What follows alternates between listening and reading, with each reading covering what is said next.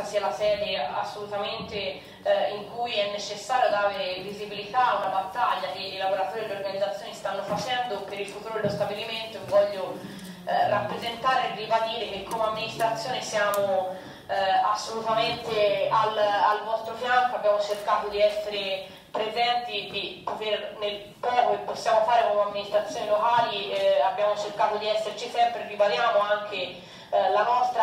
assoluta vicinanza per supportare la battaglia che i lavoratori stanno facendo e mh, mm, vi dico anche di ovviamente tenere presente la nostra, appunto, la nostra disponibilità anche per tutte le iniziative future perché noi vorremmo in questo senso penso interpretare veramente la volontà di tutti anche a, al di là delle divisioni politiche vorremmo essere eh, presenti a vostro supporto dare visibilità e maggiore cittadinanza possibile nella nostra comunità a quelle che sono le istanze che stanno insomma, andando avanti e che state portando avanti in questi giorni quindi io vi ringrazio, lascerei la parola direttamente ai rappresentanti che possano insomma, raccontare la situazione che sta vivendo lo stabilimento in questi, questo momento, se per la Presidente va bene.